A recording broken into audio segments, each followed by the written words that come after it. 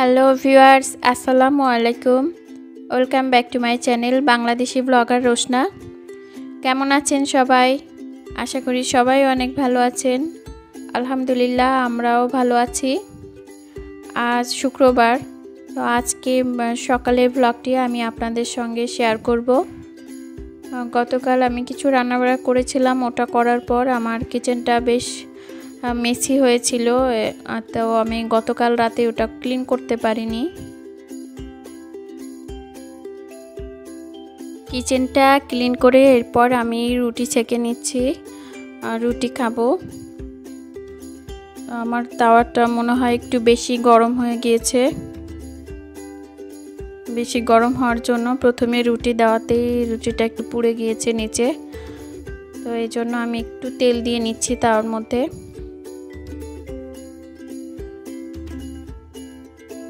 এই রুটিটা আমাকেই খেতে হবে, অন্য কেউ খাবে না এটা। আর মেধাও, মেধারও অনেক ক্ষুধা পেয়েছে, ও এসে রুটি চাচ্ছে মা আমার কাছে, বলছে, মা, রুটি দাও। ওর জন্য ভালো করে একটা ছেঁকে দিতে হবে। মেধার বাবাও ঘুম থেকে উঠে গিয়েছে। মেধা এখন ব্রাশ করতে গেছে। ব্রাশ করে আসলেই ওকে নাস্তা দিতে হবে। তো ওর জন্য একটা ভালো করে আমি একটা রুটি চেকে নেব, হালকা তেল দিয়ে দেব। একবারে শুকনো রুটিও খেতে চায় না। আর সকালবেলায় দেখা যাচ্ছে যে ও ডিম, পোচ বা অন্য কোনো কিছুও দিলে খেতে চায় না। মাঝে মধ্যে নিজে ওটস চায়, তখন ওটসটা দেই করে। আর ব্রেডও খেতে চায় না। ব্রেড বাসায় এনে রেখে দিছি, কিন্তু ও খেতে চায় না। এজন্য একটা ওকে রুটি হালকা তেল দিয়ে একটা রুটি ছেঁকে দিলাম। মেধা ব্রাশ করে এসেছে, তা আমাকে দেখাচ্ছে। এখন আমরা নাস্তা করতে বসেছি। মেধাকে ওর বাবা খাইয়ে দিয়েছে, অর্ধেকটা রুটি দিয়েছে। সকালে তো খেতে চায় না, তো ঘন্টাখানেক পরে ওকে আবার খাওয়াবো। আমরা এখন নাস্তা করছি। আমি গতকাল রাতে ছোলার ডালটা রান্না করেছিলাম, অল্প মাংস দিয়ে। ছোট ছোট করে কেটে মাংস দিয়ে রান্না করেছিলাম। এই ডালটা আমার রুটি দিয়ে খেতে বেশ ভালো লাগে আর মেধার বাবাও বেশ পছন্দ করে ছোলার ডাল দিয়ে রুটি। তো আমরা এখন নাস্তা করে নিচ্ছি। নাস্তা শেষ করে এরপর আমি চায়ের জন্য পানি দিয়েছি চুলায়। আজকে রং চা খাচ্ছি না। রং চা তো প্রতিদিনই খাই, সবসময় রং চা খাই। তো আজকে ইচ্ছা হলো যে একটু দুধ চা খাই। তো দুধ চা খা, বানানোর জন্য আমি সব কিছু রেডি করেছি। এখন চাটা বানাবো। এখন চাটা বানানোর জন্য আমি দুধ আর চিনি একসঙ্গে আগে মিক্সড করে নেব ভালো করে। তারপর আমি পানির ভিতর দেব। আর পানিটা আমি অলরেডি ভালো করে ফুটিয়ে নিয়েছি। কারণ চায়ের পানিটা একটু বেশি করে ফুটানো দরকার হয়। তো আমি দুধ আর চিনি এখন একসঙ্গে দিয়ে দিলাম। অনেক সময় আমার প্রবলেমে পড়তে হয় দুধ দিলে পানির ভিতর জমাট বেঁধে যায়, এজন্য চিনির সঙ্গে মিক্সড করে দিয়ে দিলাম। এরপর চাপাতিও একটু বেশি দিয়েছি, দিয়ে কিছুক্ষণ জাল দিয়ে এই যে নামিয়ে নিলাম।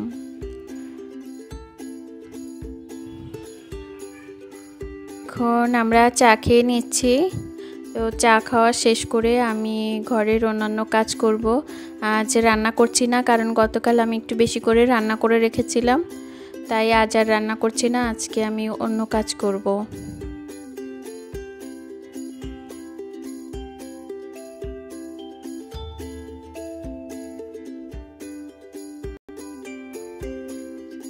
নাস্তা শেষ করে আমি কিচেনে এসে দেখি যে আমার অনেক থালা বাসন জমে আছে।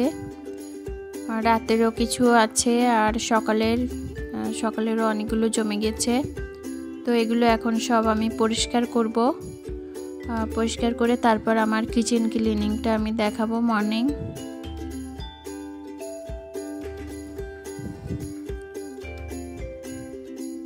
থালা বাসন ধোয়া শেষ করে এর মধ্যে আমি মেধা মেধাকে একটু পানি খাওয়াবো বারবার। সকালে ও তো তেমন কিছু খায় না, তাই আমি একটু পানিটা বারবার দিই যাতে ক্ষুধাটা একটু লাগে। পানি খাওয়াতে গেলেও ইদানিং অনেক সমস্যায় পড়তে হয়, ও পানি খেতেই চায় না। পানি খেতে দিলে শুধু দুষ্টুমি করে আর ওই পানি নিয়ে খেলতে চায়। আর এখন ঠান্ডার সময় পানি নিয়ে খেললে তো ঠান্ডাও লেগে যাবে। মাঝে মাঝে ওকে পানি খাওয়াই, আমি লাঠি ধরে পানি খাওয়াতে হয়, এমন অবস্থা। আর আমি কিচেনে আসলে মেধা বারবার আসে, এসে আমাকে ডাকাডাকি করে। আবার আমাকে থালা বাসন ধুতে দেখলে ও নিজেও বলে যে, আমাকে থালা বাসন কিনে দাও, আমি থালা বাসন ধুবো। ওকে কিছু প্লাস্টিকের কিনে দিয়েছিলাম, কিন্তু তা আর রাখে না। কয়েক মিনিট খেলে এরপর কোথায় ফেলে দেয় আর খুঁজে পাওয়া যায় না।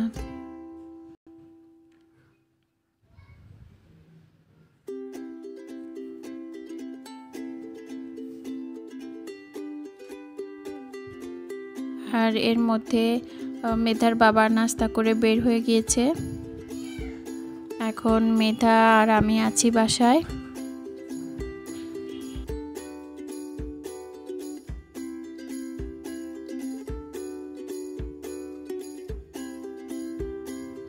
মেধার বাবা যতক্ষণ থাকে বাসায়, এর মধ্যেই আমি চেষ্টা করি বেশিরভাগ কাজগুলো কমপ্লিট করে ফেলার। কারণ ওর বাবা চলে গেলে তখন আর আমি তেমন একটা কাজ করতে পারি না। মেধাকে মেধাকে নিয়ে আমার টেনশনও থাকে, কোথায় কি করে একা থাকলে আরও বেশি চিন্তা হয়। আর মাঝে মাঝে দেখা যায় যে ও বারান্দায় চলে যায়, বারান্দায় যেয়ে অনেক প্রয়োজনীয় জিনিস ফেলে দেয়। কিছুক্ষণ আগেও একটা চামিচ নিয়ে বারান্দা থেকে ফেলে দিয়েছে নিচে। আর ওর যখন দেড় বছর বয়স ছিল, তখন ওর বাবার একটা মোবাইল ফেলে দিয়েছিল, দামি একটা মোবাইল। জানালা থেকে ফেলে দিয়ে মোবাইলটা নষ্ট করে ফেলেছিল। এখনও মোবাইলটা আছে, কিন্তু ওটা আর কাজ করে না। এই জন্য ওর দিকে একটু খেয়ালও রাখতে হয়। যদিও আমি বারান্দায় চারপাশে আমি নেট দিয়ে দিয়েছি তারপরে এখন একটু বড় হয়েছে তো ফাঁকা দিয়ে ফেলে দেয়। যে দিক থেকে পারে ওদিক থেকে ফেলে দেয়। কয়েকদিন আগে আমার টেবিলের ম্যাটগুলো সব জানালা দিয়ে নিচে ফেলে দিয়েছিল। তো নিচে পড়েনি। জানালার নিচে যে সানসেট থাকে ওখানে যে পড়েছিল, ওটা পরে আমি আবার লাঠি দিয়ে ধাক্কা দিয়ে ফেলেছি। নিচে ফেলেছি, তারপর ওখান থেকে আমি নিয়ে এসেছি। তো এজন্যই দেখা যায় যে আমার বেশিরভাগ কাজ ওর বাবা থাকতেই আমাকে করতে হয়। আর একটু বড় হলে হয়তো যখন বুঝবে বিষয়গুলো, তখন আর এতটা ঝামেলা হবে না। আর খেলাধুলা করতে দিলেও আমার টেনশনে থাকতে হয়, কারণ ছোট কোনো কিছু পেলে আবার ও কী করে না করে। আমার থালা বাসন ধোয়া এখন প্রায় শেষ।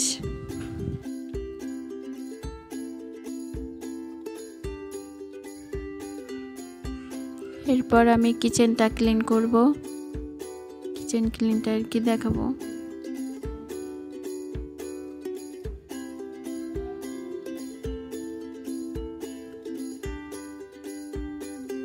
চুলাটাও অনেক মেসি হয়ে আছে।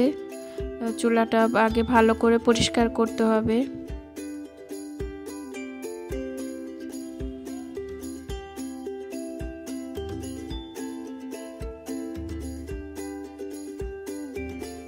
থালা বাসন ধুয়ে আমি সব সরিয়ে রেখেছি জায়গা মতো। তারপর আমি আমার কিচেনের চারপাশগুলো আমি পরিষ্কার করছি চুলার চারপাশে।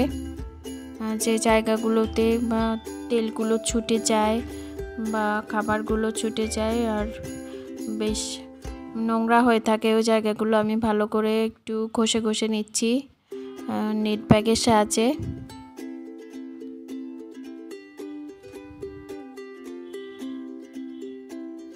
প্রতিদিন রান্নার পর আমি এভাবেই ক্লিন করি। এভাবে ক্লিন না করলে আসলে ভালোও লাগে না। এই যে চুলাটা অনেক মেসি হয়ে আছে, খুব খারাপ দেখাচ্ছে। ক্লিন করার পর অবশ্য সব সব ঠিক হয়ে যাবে, তখন দেখতে ভালো লাগবে।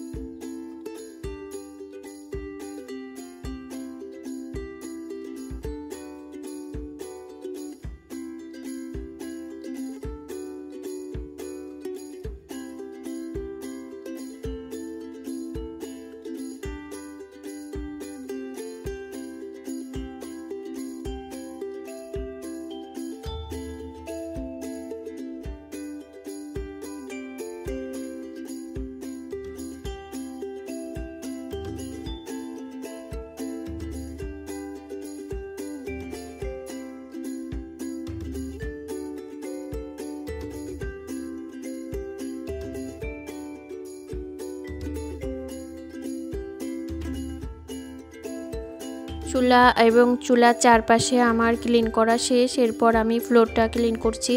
ফ্লোরটা ক্লিন করার জন্য আমি প্রথমে একটু ডিটারজেন্ট দিয়ে ভালো করে মুছে নিয়েছি। তারপর আমি আবার পরিষ্কার পানি দিয়ে আরেকবার মোছা দেব, কারণ তেলগুলো ছুটে নিচেও পড়ে এই জন্য হয়ে গেল আমার মর্নিং কিচেন ক্লিনিং তো ক্লিন করার পর আমার দেখতে ভালো লাগছিল।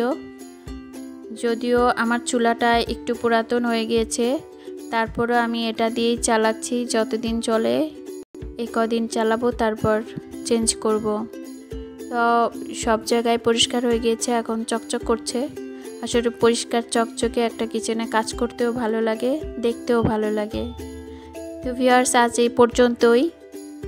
আমার আজকের এই ভিডিওটা যদি ভালো লাগে অবশ্যই লাইক দিবেন কমেন্ট করবেন এবং আমার চ্যানেলটি সাবস্ক্রাইব করবেন। আর যারা সব সময় আমার ভিডিওগুলো দেখেন, তাদেরকে জানাই অসংখ্য ধন্যবাদ। সবাইকে আল্লাহ হাফেজ।